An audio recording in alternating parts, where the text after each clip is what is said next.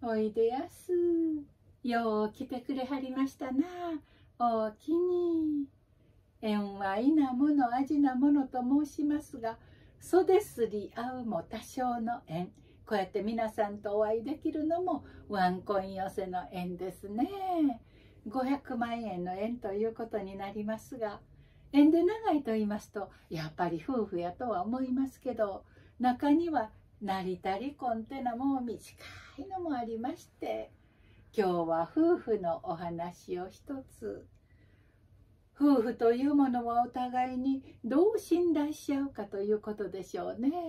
信頼がなくなると破局を迎えることになるようで。ちょっとちょっと旦さん聞いとくなはれな。なんやおさきさん血相変えて飛び込んできて。どなしたんや？また夫婦喧嘩かいな。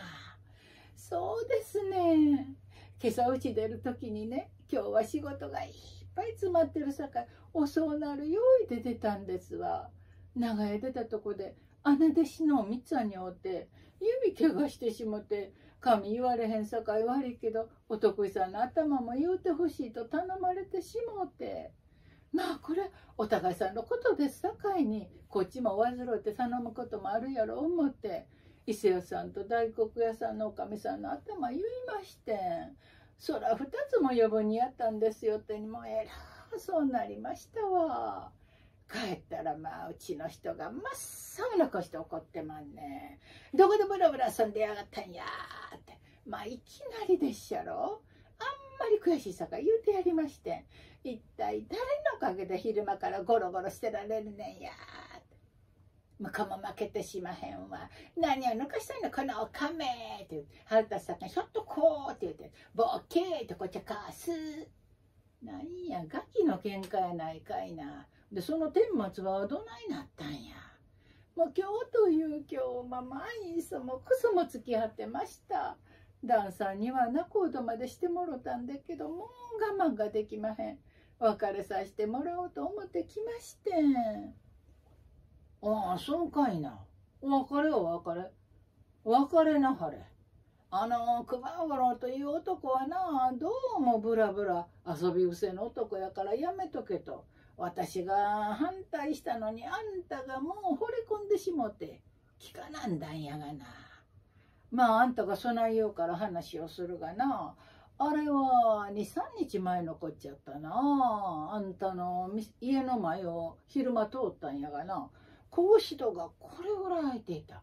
不用心やなぁと思って声をかけたら、ああ、旦さんでっか、どうぞお上がりくださいと、座布団を出しながら、そばの膳を片付けよったんやが、その膳に刺身が一人前と、二合とくりが一本乗っていた。女房が一日中油だらけになって働いているというのに昼間から酒飲むなというわけじゃないよ。夜夫婦差し向かいで飲んだらいいやないか。夫婦というものを思いやり相手を思う心が大切じゃ。それがないならもうしょうがない。お別れお別れ。別れた方がええ。旦さんそないはんのも分かりますけどね。何もうちの人はマグロ一匹ごと続いてたんとちゃいますやろ？一人前ですよってに知れてますかな。お酒勝手に塩三錠飲んで泡吹いてひっくり返ってたわけじゃなし。それぐらいやったらええんちゃいまか？どないなってんねん。夫婦喧嘩は犬も食わんというが、あんたが別れたいと言うたから話をしたんやがな。これではこっちが悪者になってしまう。一体あんたはどないしたんや。そらわてかてな、今すぐ別れたいことはおまへん。わての方が7つも年上だんね。今はな、ま、ほら、綺麗でしょん？うん、まあまあなあ。先で年取ってしわくちゃになって病気で寝込んだりしてしまったら若い女引っ張り込んでこのイチャイチャイチャイチャしよったらもうわてかって悔しいさかいに噛みついてやろうと思ってももう歯がのうて入れ歯が落ちる。ようしゃべるなあんた。こら喧嘩の絶え間がないやろな。あそうかと思ったらね金と太鼓で探してもあんなええ亭主はおらんと思うほど優しゅうしてくれまんねん。おいおい今度はのろけかいな。しやけど殺してやりたいと思うこともおまんねん。一生添い遂げられるんか情があんのかないのんかもういつもファファーファファーしてその両見がちょっとも分かりまへん。男の両見ということになるとなこういう話があるんやがあんたもろこしを知ってるか？はい。湯がいたんよりこのお醤油つけて焼いた方が好き。それはトウモロコシじゃ。モロコシという中国の国の話じゃ。そこに孔子という学者がおってな。孔子郎という役者役者じゃないがな孔子という学のある人で。その人はな一頭の白い馬を大層大事にしていた。まあうちの人も白馬が大好きで冬はあれに限ると言うて大層体があったまるそうで。道録の話と違うがな乗る馬じゃ。ある日馬屋から火が出た。家来が飛んでいって白馬を引き出そうとしたんやが白馬はびくとも動かとうとう焼け死んでしもうた。夕方お帰りになった講師に留守中馬屋から火を出しましてご愛馬をと。そこまで言わぬうちに一同の者怪我はなかったか。一同無事でございます。そうかそれはよかったそれはよかった。白馬のことは一言もおっしゃらんかった。やっと家来が白馬のことを申し上げるといやそれよりも一同が無事であって何よりであったとまたおっしゃったそうな。なんと情のあるご主人やこの方のためなら一命を投げ打っても尽くしたいと思うやろ。ではお咲さん。まあ偉い方ですねその子牛とやらは。これと全く逆の話がある。これは日本の話じゃがな。麹町の猿屋敷の猿旦那の話じゃ。まあ刑が3本足りへんって聞いてますけど偉いもんですね。猿が屋敷の旦那になったんでっか。そうじゃないよ。名前がわからないから猿屋敷猿旦那と言うんじゃ。その旦那は焼き物に凝っておってな。いやそれそれ。も大好き。冬はあれに限る。ほかほかの焼き芋でしょ。違うがな。陶器じゃすぐ言うたでしょ冬に限るって。陶器。皿や茶碗じゃ瀬戸門でか。それやったらまあうちの人も瀬戸門に凝ってますね。この間も1円50銭も出してまあひびだらけの皿買うてきて箱までこさえて黄色い布でこうしょうちゅうなぜてますね。ひびだらけがそないにええもんかもひびなんか手にも足にも実機にできますがな。お前んとこのな1円50銭の皿じゃないよ。1,000円も2,000円も万からするもんじゃ。まあそないに大きな皿がおまんの。大きけりゃ高いと言うんじゃないよ。大福持ちじゃあるまいし少しは黙って聞きなはれ。ある日来客があってな旦那は自慢の皿を見せてご満悦じゃ。客が帰った。奥さんが皿を片付けようと2階から降りてきた。旅が新しかったか足が滑ってドドドドドドドドと下まで落ちてしもうた旦那が飛び出してきて「皿はどうした？皿は大丈夫か？皿は欠けていないか？皿は皿は皿は皿皿皿」と。36回。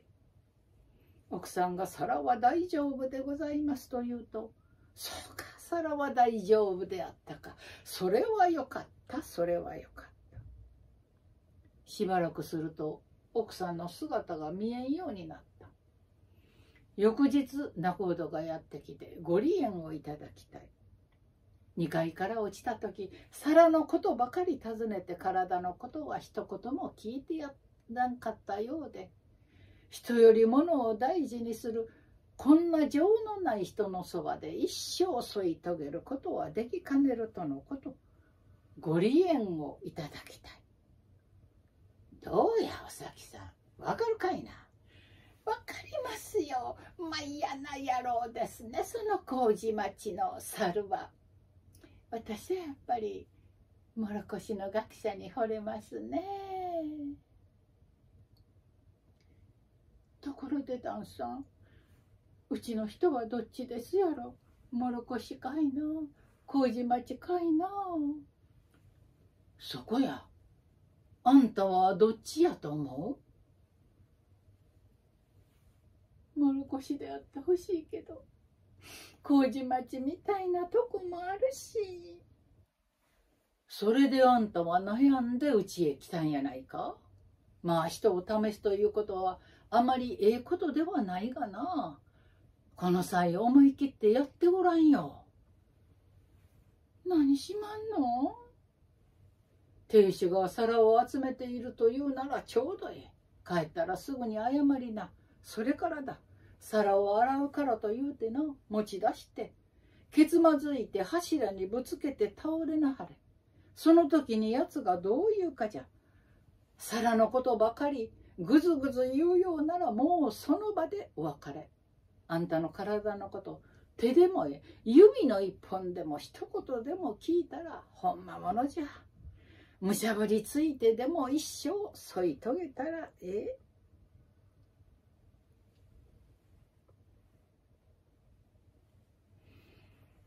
もし皿のことばっかり言うたらどないしょ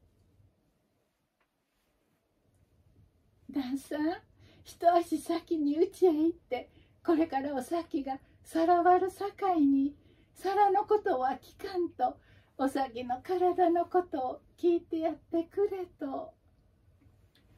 それでは何にもならへんやないか。まあやってみてな。どうしてええかわからんようならまたおいで。相談に乗るからな。はい。わかりました。ほなやってみます。おおきに。おおきに。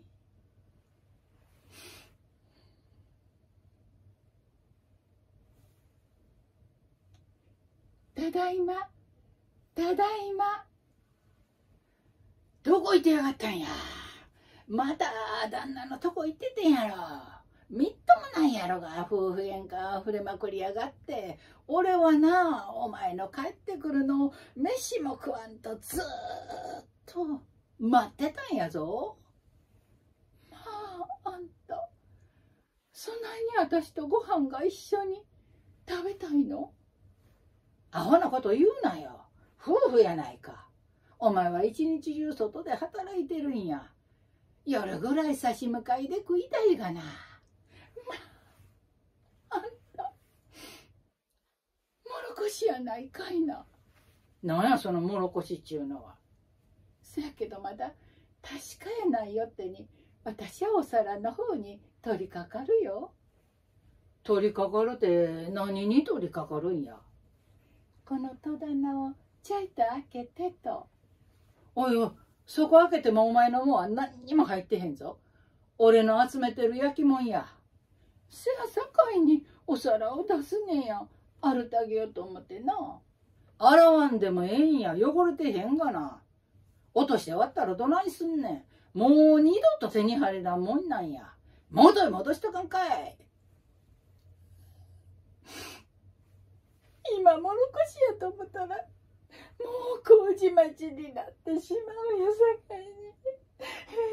周期で待っては。やるだけのことはやる。おい。危ないぞ。けったいな格好して。皿持ってどこ行くんや。危ないぞ。やめとけ。ああ言わんこっちゃない。とうとうやりやがった。